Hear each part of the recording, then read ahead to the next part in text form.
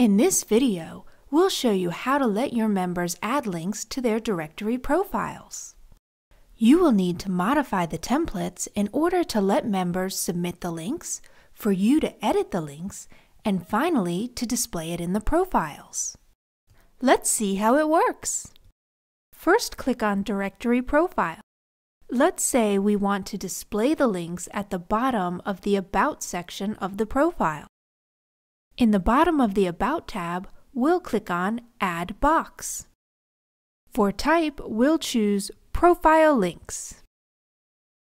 We want all of our members to be able to add links, so we'll select Always Visible. Once the box is added, click on Save Template to ensure that the changes are saved in the system.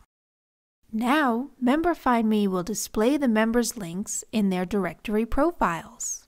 But we need to also provide a way for the members to submit their links. So let's start with the member sign up template. Let's add the profile links on the Profile tab.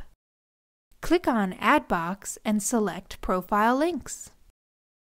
Here, we are going to add a title and description to let members know what this is for. Clicking on Save Box creates the new Profile Links box. If we want to place this box right below the profile description, we can drag and drop this box into place. Now click on Save Template to save the changes. We're going to repeat this in the Member Manage template.